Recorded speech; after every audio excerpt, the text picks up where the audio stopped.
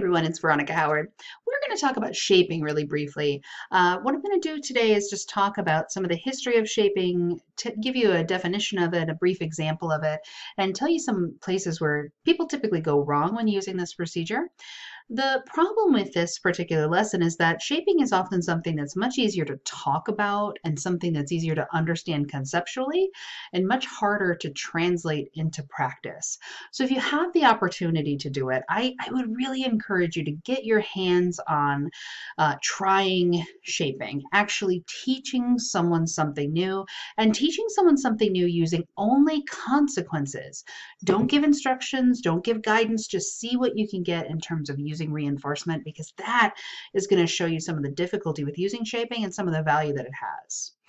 When we're talking about shaping, it's one of the only ways to teach brand new behaviors in a repertoire.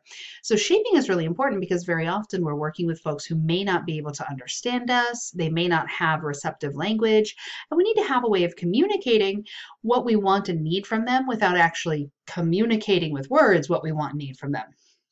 For instance, Skinner was challenged by a magazine editor to teach animals to do things that were really complex, but but in a very short time span. So, this is a, a photo spread from uh, a magazine in the 1950s. I forget the name of which one, but the the magazine editor didn't believe Skinner that shaping could uh, be used to, to teach all these new behaviors, that it was as powerful as it really is.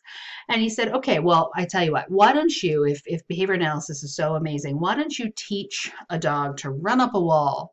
And Skinner said, yeah, I could do that. You know, challenge accepted. So what I'm showing you here is time and how the shaping procedure went. When Skinner started, we're just seeing what the dog will do, and, and within the first minute or so, Skinner is reinforcing the dog whenever they're kind of near the wall. That's what you see at the one minute time. Around four minutes, what Skinner is waiting for is for the dog to really consistently go over to that wall space where the little lines are. Around eight minutes, you see that the dog, when being reinforced, is consistently orienting toward the wall. And then Skinner starts to withhold reinforcement. Now the dog can't earn reinforcement just for being near or looking at the wall. Now the dog has to give you a little bit more. So you see in minute 12 that the dog is actually orienting and putting paws on the wall. And you see from 16 to 20, he's kind of shaping up that repertoire of jumping up the wall.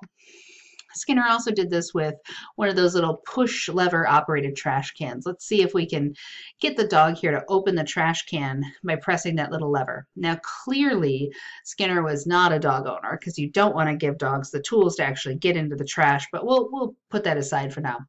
Skinner begins by reinforcing the dog whenever they're near the trash can then withholding reinforcement and reinforcing only when the dog is putting their paw on that little lever. And then once you start seeing that happen pretty consistently, only reinforcing when pressing that lever down. And eventually the dog learns to push down that button and pop open the lid. Now, that's a super simple way of describing what I'm talking about in shaping, but again, it's easier to talk about than it is to do. When we're talking about shaping, shaping is the use of differential reinforcement in a series of successive approximations to a specific target behavior. In those examples, our target behavior was opening the lid of a trash can, it was jumping up a wall. But the way you get there is by using differential reinforcement and being savvy enough, being analytical enough to know when it's time to move on to the next step and when you should wait and stay at the step a little bit more. We use shaping often when we need to teach a new behavior, when we're trying to teach something that's not already in the learner's repertoire. And this can be pretty difficult because we, we often, if someone knows how to do something, you can just get more of it by reinforcing it. But what if you need a behavior that they've never done before? What if you need to help a learner who doesn't have receptive language, who may not learn from models, or, or in a situation where you can't use simple reinforcement alone and you have to create something new? That's why we use shaping. And the example I want to give you today is actually teaching children language, right? I could use differential reinforcement in a series of successive approximations, and many of our parents do. So, for instance, when I was younger, maybe my mom is going to get me a glass of milk only when I'm doing certain behaviors. And consistently on screen here, what I'm going to show you is what will be reinforced, which is on the right. It will also be displayed in green, and what will not be reinforced, which will be on the left, which is going to also be displayed in red. So maybe my mom at first will reinforce me only for things like pointing at the refrigerator or pointing at my glass to indicate that I want something to drink. But my mom is never going to reinforce me if I'm crying or screaming or pouting. And then over time, I develop a repertoire where when I want something to drink, I'm going to point at the thing that I want, right? If I'm reinforcing that behavior with milk, I'm going to get more of that behavior. But this isn't language yet. So over time, once once I become really fluent, once I'm producing a lot of pointing behavior, maybe now my caregiver can refine that a little bit. Maybe then the caregiver can say, you know what, we're going to provide that reinforcer, but we're only going to provide milk when the client or the learner or the child is pointing at the refrigerator with their glass in the hand, right? So it's like, I want that, and this is where I want you to put it. Or they bring that cup to the parent. But now, not only do they not reinforce the crying, screaming, and pouting, but now they no longer reinforce pointing without a noise. So we've we've refined it a little bit. We've gone a little bit further. We've said you have to give us just a little bit more than you were giving us before. And then once they get pretty fluent here, we can move forward. Maybe now they need to point at the cup and make a noise like meh uh, but we don't reinforce crying, we don't reinforce pointing without noise, and we don't reinforce just bringing the glass to the parent. Now they both have to bring the glass and make a noise. Now they're making the noise pretty regularly, and maybe we say, you know what, we're only going to reinforce when they make noises that may have kind of an M sound to it, like meh, and we're no longer going to reinforce any of the stuff from the previous steps. And we're no longer going to reinforce other noises. We're only going to reinforce the cup and the noise. Once that gets pretty fluent, we can then refine and then maybe we get, we say milk or some approximation of milk that young kids can say like milk. Uh, and then we no longer reinforce everything else. So you can see this is going to take time and this is going to take patience, but you're essentially shaping up a brand new behavior. You're creating something really new from what wasn't there before. But this is so difficult, you guys. It's so, so difficult to do this. And there's a lot of things that I see happen regularly that are problems with differential or with uh, shaping. The first big problem is that not reinforcing soon enough. So maybe the target behavior is happening, but the reinforcer is delayed. And so when the reinforcer actually becomes delivered, uh, it can be kind of confusing, like what the reinforcer is for.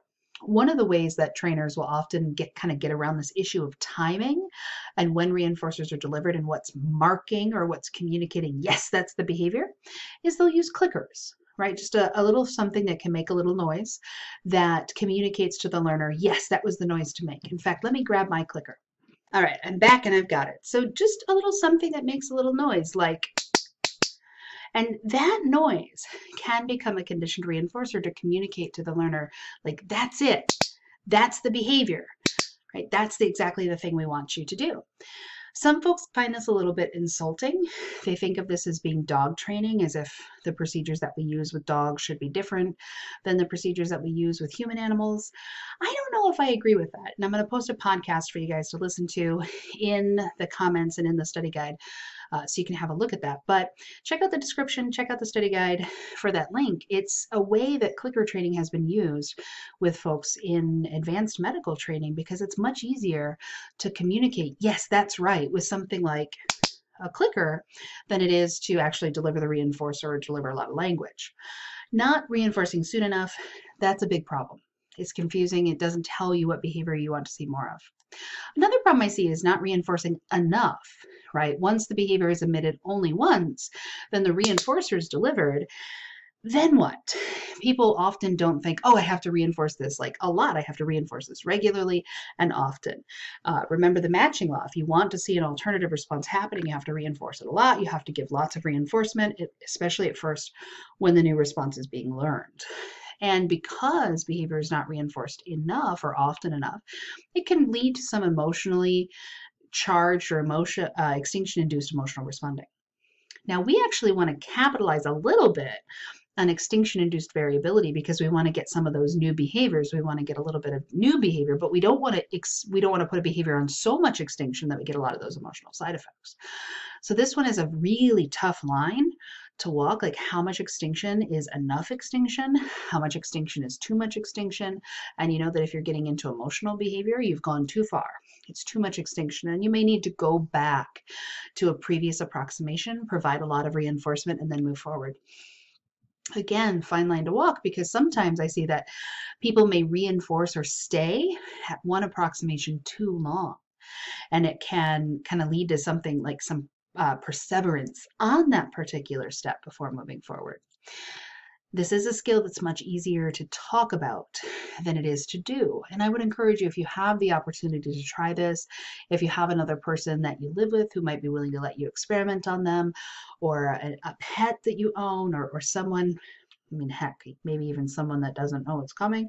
Uh, I'm not going to say anything. I won't report you to the IRB, but give it a try because shaping is really powerful, but it's also really challenging. And see what, what you can come up with. I'll see you guys next time.